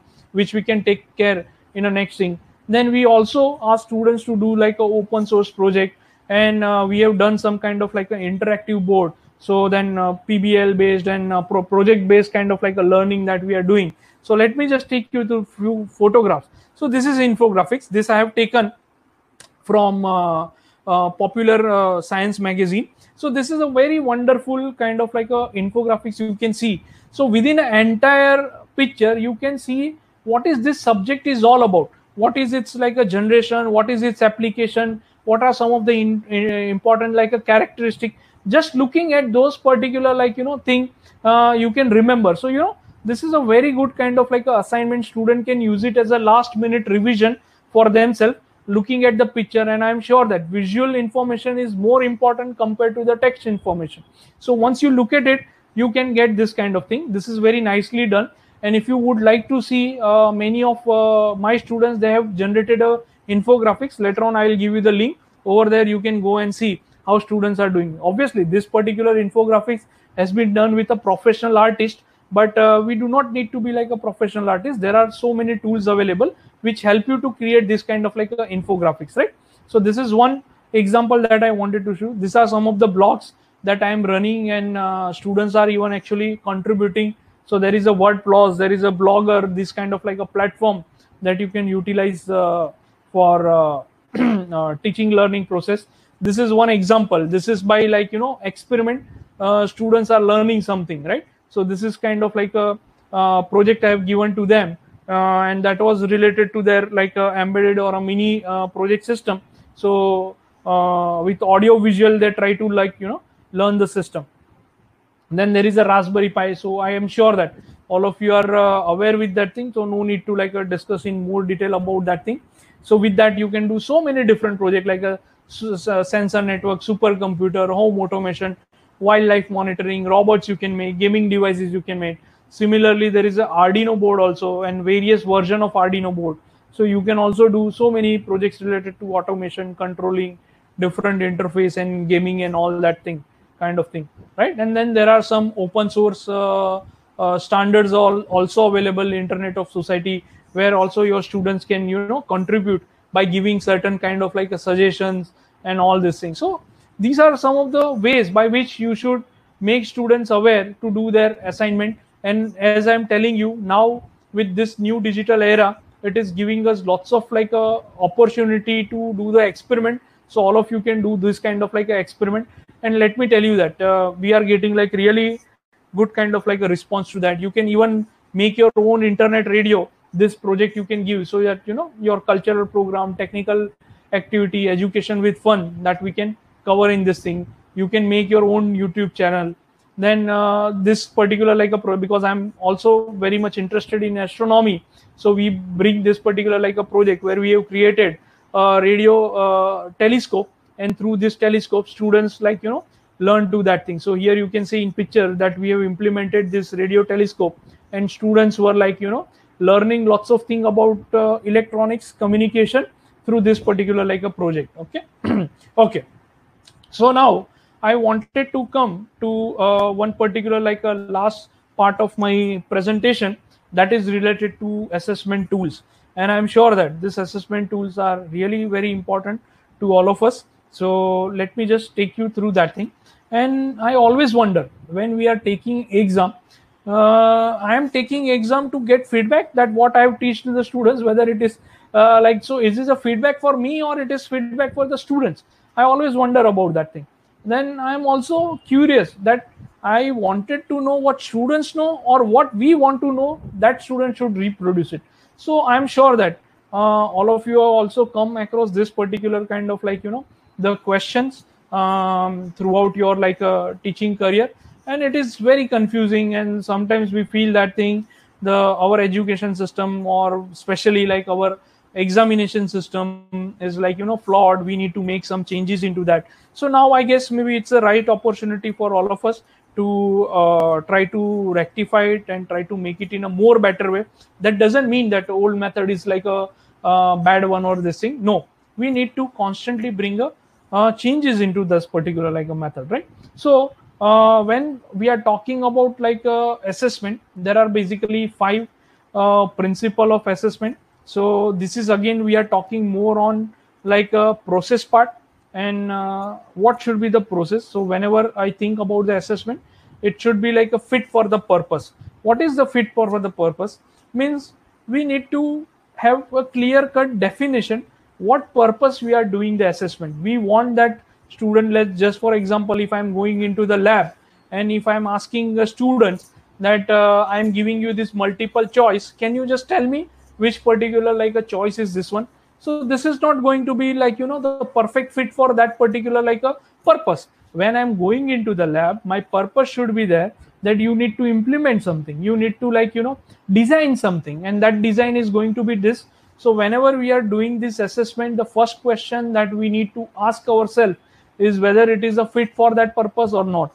Now coming to the second principle, second principle is about the authenticity authentic or you can say whenever we are designing something it should be very authentic. That when students are taking particular exam they should feel that thing no. They are you know go, uh, they are looking at as a like a learning opportunity rather than just giving as an exam. It's authenticated. It is going to be properly checked. It is going to be like you know properly like uh, done uh, the question the difficulty levels. It's properly done. We have given them a proper number of like you know options. Option should not be the more. So then you know the entire purpose of the exam is going to be diluted. So there are various parameter to it. So this gives the authenticness to your particular like exam. So we need to make sure that whenever we are giving this experience we need to make sure that students are giving a proper authentic exams. Then when we are doing kind of like a assessment we need to be fair. Fair in the sense we need to give them a rubrics. Uh, let's say if you are measuring them on uh, uh, lab work so you need to define that how i'm going to divide this lab work into different kind of like a rubrics and it should be fair with everyone. It should not be you know like a favorable to some students and not favorable to some students. And also it should be a reliable process. That process itself is like a reliable. Just for to give you an example now if you wanted to ask let's say uh, a particular like a individual question and you wanted to ask this individual kind of question assessment in the class of like a hundred students so then it is not going to be a reliable system. Why?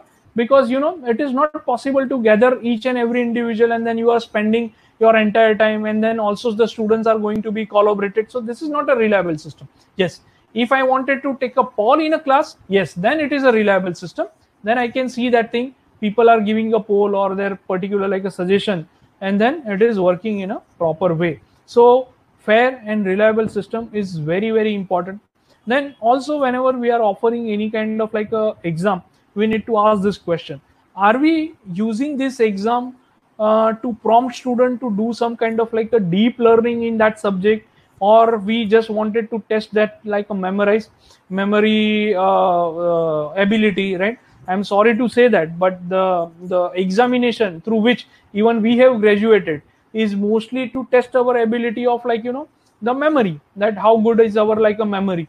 So here the learning part is basically the missing. So this is really really important that uh, we have to see look at it at the learning part. And uh, it should be provide some opportunity to students to look into that uh, matter very closely very deeply right? So that is the fourth principle. The fifth principle is that whenever we are giving it should be a manageable exam and efficient right? Now just to give you an example i was thinking to give some kind of like a, a hands-on material but then i thought that oh number of participants are like you know uh, more than like a thousand. So am i going to like manage those things am i uh, going to like imp- uh, implement like any efficient method to it? And then i come to know that thing. Why don't we like you know start with like a some uh, polling system and let's do this thing. So it's an efficient way. So we also need to think whether the system is manageable and efficient right? Okay. So once you know about this five principle now let's try to understand what are the functions of assessment. So these are very important functions. Uh, why we take assessment? So maybe we have to do a couple of uh, this particular functions or maybe all these functions or maybe we uh, try to achieve you know uh, only one particular like a functions officer.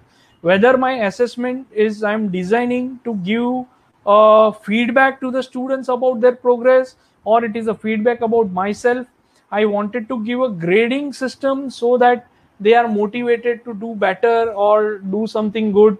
Or i'm uh, try to segregate a certain kind of like a, a thing. Uh, just for example JEE main when why we are taking this kind of like entrance exam? Because we wanted to select certain group of students right? So whether i'm achieving uh, doing the assessment to select those kind of like the students then i can say that thing uh, my assessment is making your students influence in our teaching right? Now when i'm going to take an assessment i make sure that students should go through this kind of like you know the learning pattern or a learning objective so that uh, i am trying to influence those students. So I, whether i wanted to influence i wanted to make sure that that there is a satisfaction. Okay assessment we are taking is generally always the last part of any particular like you know teaching learning process. And so that uh, everyone should get like a satisfaction that okay this is like you know wonderful things that we have done. We have given this particular like exercise and i am feeling that thing. It's a giving me a good particular satisfaction right so completing learning teaching. Okay after giving this exam now i am done. Now i will be starting a new particular like a learning or i can say the whatever the plan of learning uh, we have achieved uh, objective that we plan are all achieved. So that's the end of this particular thing. Or maybe we just wanted to make sure that whatever i'm doing is like accountable to all external uh, stakeholder right? So uh, this is also uh, like a very important one uh, because we have to answerable to our like employer. We need to answerable to parents. So there are so many like uh, stakeholders are there. So we have to like you know uh, make such a system that uh, reliable system that should be guaranteed that thing right? Now there is a utility formula. So whenever we have to take a particular like assessment we need to make sure that we are fooling on this all this kind of like a utility. So whenever you have to take particular like exam so and i am sure that all of you are familiar with the word utility. Utility means what is the usefulness of this particular uh, system. So you can say the first one is reliability. Reliability in the sense this entire process should be reliable enough. So how we are saying that our experiment should be like a reliable? Similar to that examination process should be reliable which we should be able to like you know take on a frequent interval with a proper rigidity and same kind of like a result that we could be like able to reproduce it. What could be the validity of that thing right? And whether it is going to give any kind of like a positive educational impact or a negative uh, education impact this is very very important right? And then finally what could be the acceptance uh, of uh, this particular like exam so this grade is going to be like accepted. It is useful to us. What is its weightage? And then cost. When we are uh, putting the cost it is not just cost of uh, uh, money but a human power infrastructure. So all that things comes into this particular kind of like a cost. So this is very important. So this simple formula is that r multiplied by v multiplied by e multiplied multiplied by c. But i'm sure that this is doesn't work in that normal like a numerical thing it is always depends on our uh, assessment uh, purpose. Uh, all these components vary on more or less in some gray areas right? So that we have to take care about that thing. Now when we are doing this assessment we need to make sure of this particular assessment align. That what is our learning outcome?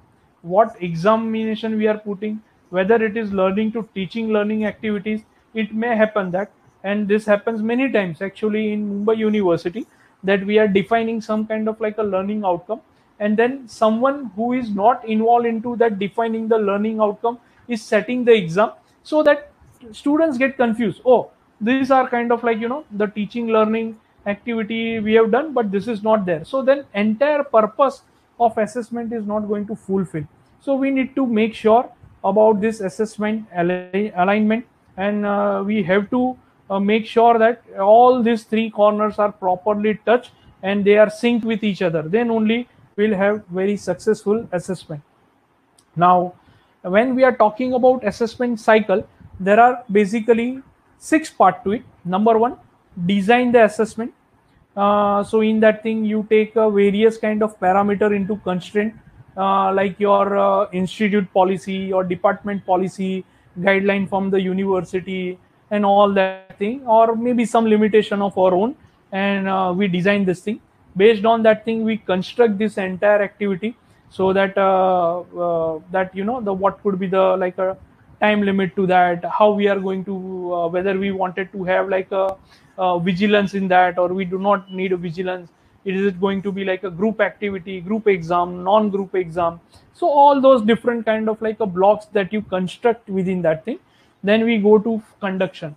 So when you go to the conduction then you think oh this exam i need to conduct online offline or how? Or maybe with a presentation with this thing. So how i'm going to do this conduction is very important. Then fourth part evaluation where you are going to give them the marking system right? So you are going to give them the grades marks and based on that you are going to give them the feedback that okay so and so students have not scored good in this particular area so that students can you know work on this particular area. So this is like a feedback. Now very very important one assessment analysis. Now after doing this thing and i'm sure that all the college they are doing their result analysis. So what is this basically result analysis all about? Result analysis is uh, actually telling us that where we have gone perfectly right where we have gone wrong what we are doing in a good a good way what we need to improve further so it is giving us a very assessment uh, good analysis about that thing. So based on that thing we try to develop our new teaching learning process. So this assessment analysis it's a very very important aspect. And then uh, in digital era as i said everything now we are going to get as a like you know analytics. So now we have to develop this as a skill. So if you remember in a digital skill also i have mentioned that analytic skills that we have to develop. So using this digital analysis and this thing we can make our assessment more rigorous kind of thing right? And after that uh, what is our assessment we have done so we take lots of learning out of it. And this learning we are putting into our future planning. And this entire process it's running in a cycle. Then again we go to the design construction conduction. So this entire thing works in a completely circle. So there is no end to it right? Or there is no start to it. It is always in a loop and a closed loop it is always keep working that thing. So this assessment cycles we have to keep it in mind. Now models. So this i am sure that all of you are very much uh, aware that uh, what kind of like a models that we have. So very good uh, and very important models we have is a summative test. So that is the end uh, examination end semester examination then formative test. So while the teaching learning process is going on we take several kind of like a test. So it could be a direct test it could be an indirect test and uh, uh, we try to you know try to balance between those things and try to make sure that we give a proper kind of like a test to students so that uh, we can get proper feedback to adjust the things uh, from our side right? And what are the tools for that? So if you see in examination tools we have open book test quizzes closed book test quizzes viva we have takeaway test is that multiple choice is there discussion is there essay type writing is that group test is there collaborative is that project test is there. So you just name it. I'm sure that once you try to uh, give the different kind of like a names obviously you are going to get like you know different kind of and each and every tool they have their uh, advantage and disadvantage. Let me just uh, take you through one particular like uh, option. Uh, one uh, tool is an open book. Now when to use an open book and how to use an open book? So there are many misconceptions related to open book.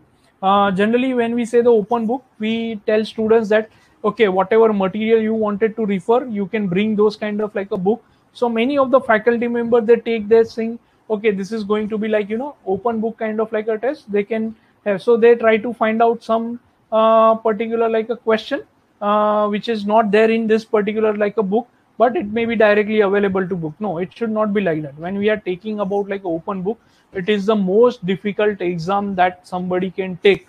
Uh, and uh, i have myself experienced that thing.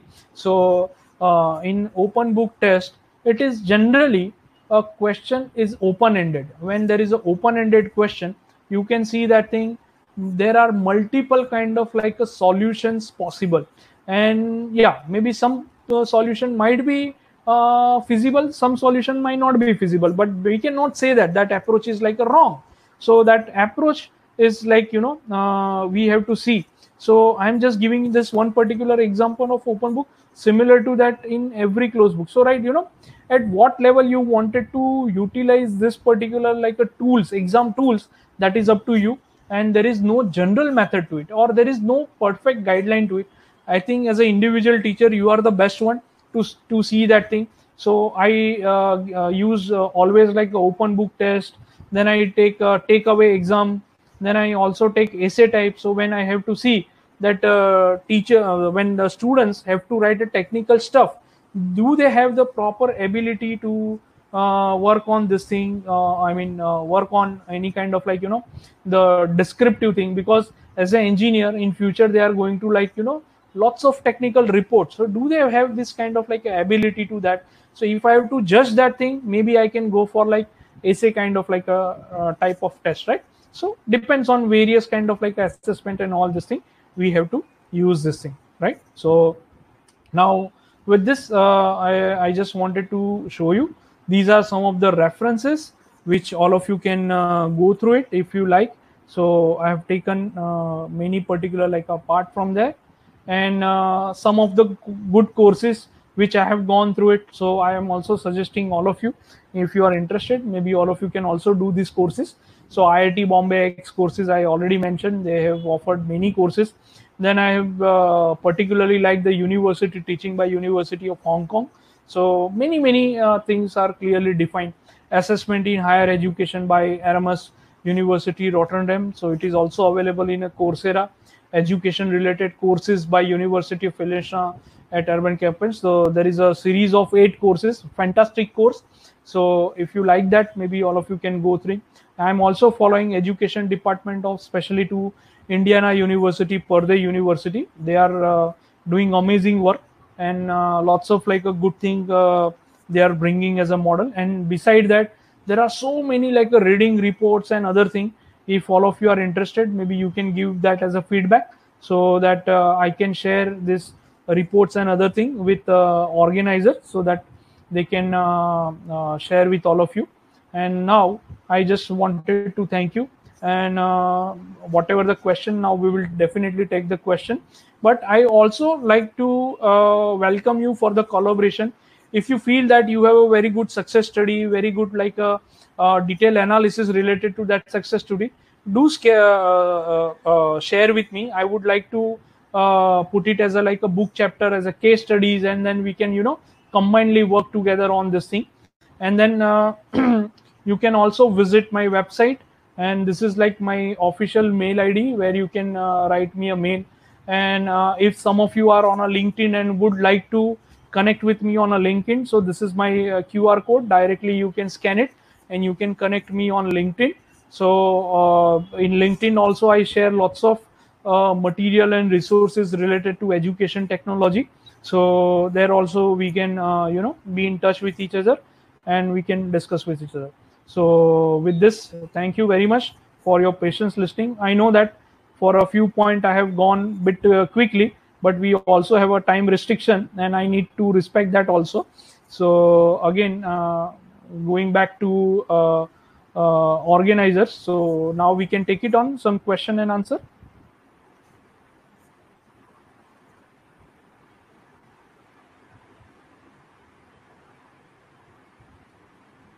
Uh, thank you, Mehta sir, for briefing us about the new normal way of teaching. It was a great session that focused about incorporating new methods. Now we have a few questions from our viewers, uh, and the first uh, question, which is uh, been asked quite uh, often, I'll just go through that. Uh, so the, there are many people who want to um, know about the blockchain technology. They would Okay. like you to elaborate a little bit more on the blockchain technology. Okay, so uh, uh, I am not an expert on basically a blockchain technology. So even I have started to learn about this particular like a blockchain technology. So what uh, I wanted to, uh, why I wanted to use a blockchain is that because in education you can see that in digital privacy is going to be a very very big part. Also, uh, when we have to take a different kind of like a assessment or when we are issuing certain kind of like a certificate to the students we nowadays we see that there is lots of like a fraud cases lots of like you know the copyright issues comes in that thing i wanted to make my uh, uh, content as a secure one or i wanted to make sure that whatever my students are generating their feedbacks or let's say this should be like a very secure. So blockchain will be the driving technology to make sure that all those things are particularly like you know uh, secure and give me a very uh, uh, i can say a validity point of view. Let's say in future uh, some students have uh, passed our one particular like a value added course in 2017 and now uh, some i can say employer in 2030 wants to validate whether he really actually passed and done some good like a work in that thing. And that kind of like a query can come to me and i can validate thing. So in uh, blockchain technology it will be very easy for us to keep those records the, do those kind of like a checking. No tampering could be possible at all. So nowadays we see from the university also that there are lots of like you know fraud cases. They tamper to like uh, their result they tamper to their like a manuscript and they temper to like you know the uh, the uh, uh, scorecard and all these things. So that malpractice will not be there completely. No one can interfere into that. So that is one aspect. Another aspect is related to content also right? So there are many things which students would not like to share with other so that they wanted to make sure that it is uh, be there as a like a uh, private content as a secure content. So that is also possible using like a blockchain technology thank you now sir. let me just okay yeah Okay. Uh, our next question is asked by uh, Amreen Khan, uh, and she Hmm. wants to know that uh, how do you take attendance online? yeah so in online there are actually number of tools available proctor tools are available so if you like uh, pay them some kind of like a subscription fee so just to give an example pearson is actually providing this particular like a facility uh, then there is a uh, one more platform. I'm not recollecting the ram right now. So uh, what they do is that they give their own like a software which is continuously you know monitoring your facial expression. They are continuously monitoring whether you are like you're not surfing anything on your web thing or you are not like uh, going on to different pages. So there's kind of like a softwares and other things are there. It depends what kind of like a services you want. So you have to subscribe like that and uh, you get uh, this uh, uh, full facility so that attendance can be properly monitored uh, even the during the exam time you can properly monitor. Even you can get the analytics that students have uh, uh, spent what kind of amount of time in which particular like a questions right? So lots of like uh, analytics are available so that uh, i can even come to know that thing which particular part goes very difficult for the students easy for the student. So it is not just restricted to attendance but it could be used for many other purposes Thank you, sir. Our next question is uh, by Dr. Sanjay Shitole and by Yeah. G. George. Uh, Hmm. And they want to know what is the difference between PBL and RBL. What what are they? And elaborate something little more about it. okay so uh, uh, as per like my understanding so there are like a lots of literature uh, related to like a pbl and rbl so just to give you an example uh, pbl is mostly like a project based thing so there are few people who actually go by some kind of like a open statement or see some kind of like you know the they give some kind of like a statement uh, where there is a problem. Now just to give an example i will say that thing that uh, uh, covid-19 has uh, bring lots of like uh, worries in education. Now when i use this particular like a statement you can treat it as a like a general statement but when i ask students to look it from the problem perspective. They can try to figure it out. What are the okay what could be the like a problems in that thing? They need to figure it out. Then they can try to you know propose some kind of like a solutions to it. Or let's say may, maybe i can ask this uh, kind of like a question to that that uh, i wanted to you know uh, develop certain kind of system with certain kind of like a functionality. Can you give me the designing of that thing? So that kind of like a statements are also considered as a problem based statement and you will find lots of literature related to that. Now using uh, rbl so that is a research based learning problem. Now I, I wanted to give you one very good like uh, uh, uh, example and that is in history also. It's recorded. So all of you about knowing about the Hamming hemmington weight or uh, uh, sorry uh, uh, that one coding system that we try to solve with this thing. So what is the name? I'm not recollecting right now. Sorry for that. So uh, yeah so when Hamilton and all this thing they put this particular like a challenge that if we wanted to solve this particular like a code so we have to find out the distance between these two. And uh, within this distance how to do it in a very efficient way.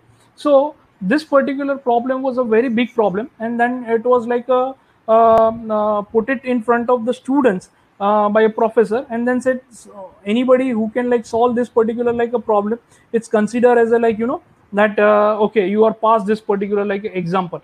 So uh, that was one of the examples. So let me just recollect that uh, student's name.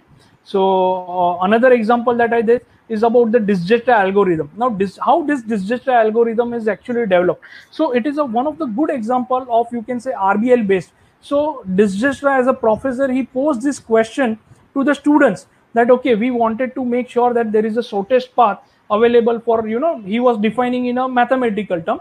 And later on this becomes like a fundamental uh, uh, for a telecommunication or i can say the internet uh, entire technology which is working on a shortest path technology. So he posed this question to the students.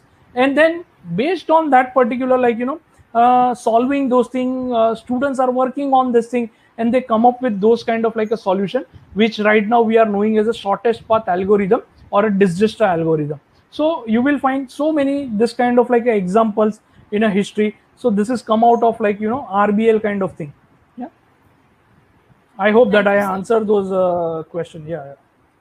Yes, sir. And uh, we'll go for one final question at the end. Uh, Okay. So, uh, Professor udaykashit wants to know that uh, could you explain the role of mathematics, especially operation research in gamification? so there are many kind of like a, uh fundamental things which we have. So i do not know much about like a operational research but uh, i do know about like a game theory. But when we talk about like a game theory it's a branch of like a mathematics. Is not about like a designing a game. So that's lots of people they get like a confused about that thing. So there are many concept related to those like with information without information then non zero sum game zero sum game.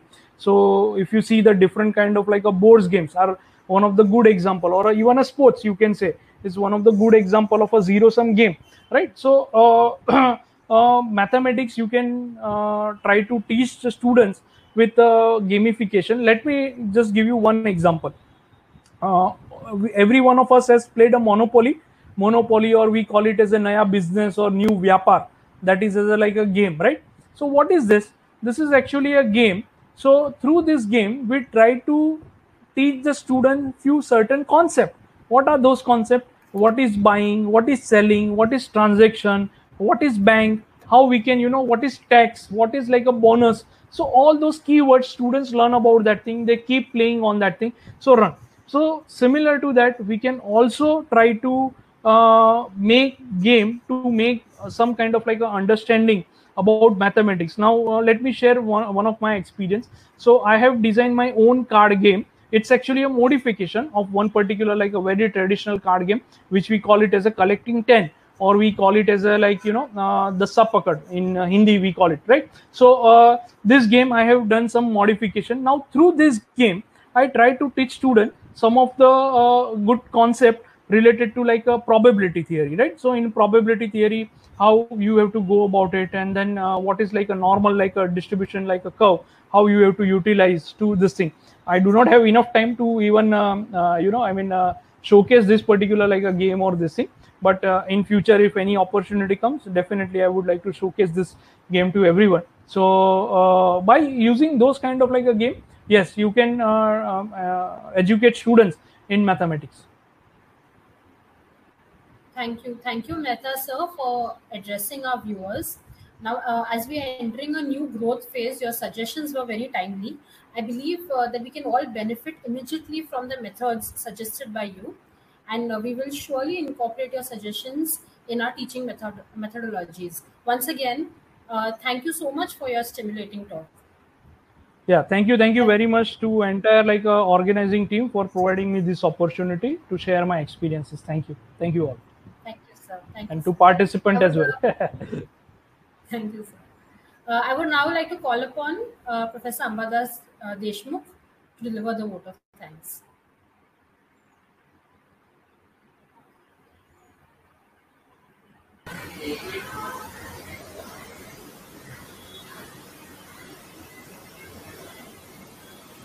Hello. Good afternoon, everyone. On behalf of the entire first year fraternity and on my very own behalf, I extend a very hearty vote of thanks to Dr. Saurabh Mehta for showing and sharing with us your opinions. Thank you, sir. I would also wholeheartedly thank all the delegates for their active participation. On that note, I would request all to fill in the feedback form for this session, which is available in the chat box. Please join us once again at 2 p.m. Thank you.